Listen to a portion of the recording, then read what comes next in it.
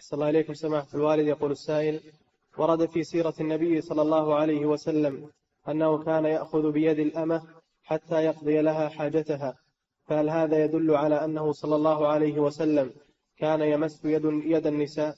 ما هي بالأمة الكبيرة الجارية الصغيرة ورد أنها الجارية الصغيرة تأخذ بيد النبي صلى الله عليه وسلم للسؤال لتسأله أو تكون موصاة من من من قبل أمها أو من قبل أهلها تسأل الرسول صلى الله عليه وسلم. نعم. هذا في الجارية الصغيرة. نعم.